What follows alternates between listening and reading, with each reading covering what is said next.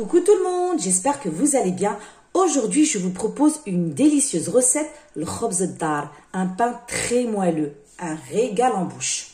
Pour cela, vous aurez besoin de 440 g de farine, 210 ml d'eau tiède, un œuf, plus un blanc d'œuf, et le jaune, vous le réservez pour la dorure, une cuillère à soupe de lait en poudre, une bonne cuillère à café de sel, une cuillère à soupe de sucre en poudre, 60 ml d'huile et 20 g de levure boulangère fraîche. Allez, c'est parti pour la recette. J'ai pris un saladier, vous n'avez même pas besoin de pétrin. Donc là, je vais verser la farine, l'œuf, vous mettez tout, hein. le blanc d'œuf, l'huile, la poudre de lait, le sel, le sucre et la levure boulangère. Et pour finir, vous ajoutez l'eau tiède. Et vous mélangez. Mélangez bien ne vous inquiétez pas, la pâte, elle est très collante. C'est tout à fait normal. C'est ça qui va rendre euh, le pain très moelleux. Un régal. Donc, vous mélangez bien. Comme ça. Voilà. Elle est vraiment collante, la pâte. Hein. C'est normal. En fait, vous tapez. Comme ceci. trop longtemps. Vous inquiétez pas, après, je vais la ramasser avec de la farine. Vous avez vu, la pâte, elle est très, très collante. Vous couvrez de film alimentaire et vous laissez reposer pendant une heure. Au bout d'une heure, la pâte, elle a bien gonflé. Donc là, je vais mettre de la farine sur le plan de travail. Voilà. Regardez comment elle est. Elle est vraiment collante. Hein Donc là, je vais la ramasser avec de la farine. Vous avez vu comment elle est? Elle est vraiment magnifique la pâte. Voilà. Et je vais diviser la pâte en deux parts égales.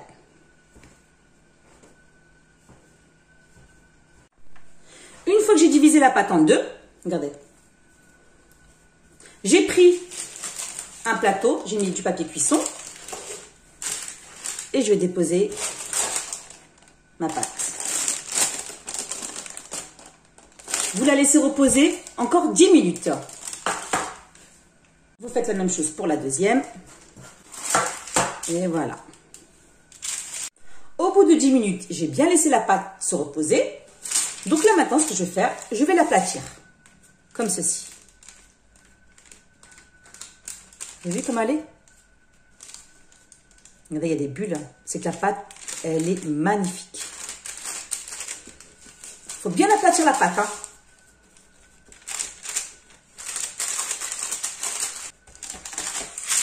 Voilà. Vous avez vu comment c'est? Elle est vraiment fine. Hein. Voilà. Vous faites la même chose avec la deuxième pâte. Ensuite, j'ai mon jaune d'œuf de tout à l'heure. J'ai mis un tout petit peu de lait. Vous mélangez. Voilà. Et je vais badigeonner la pâte.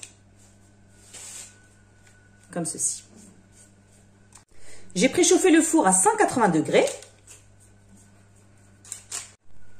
J'ai bien badigeonné la pâte. Ensuite, je prends un couteau et je vais faire des petits dessins, des petits traits. Comme ceci. Voilà. Vous faites de l'autre côté. Et ensuite, je vais décorer avec des graines de sésame et des graines de nigel.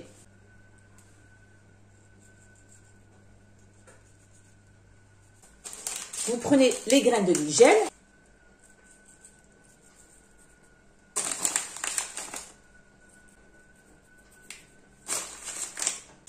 Voilà mon premier pain. Vous faites la même chose avec le deuxième pain. Bon, là, je vais faire plus simple. Et comme ça.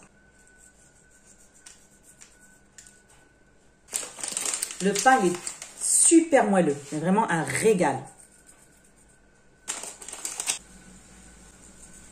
Vous enfournez pendant 35 à 45 minutes. Après, tout dépend de votre four. Hein. Une fois sorti du four, voilà le résultat final. Ils sont magnifiques. Regardez-moi ça. Un régal. Franchement, bien doré. Ils sont encore tout chauds là. Magnifique. J'ai laissé cuire pendant 30 minutes. Après, tout dépend de votre four. Hein. Là, je les ai laissés bien dorés.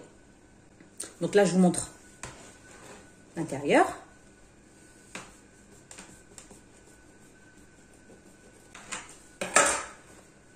Regardez-moi ça.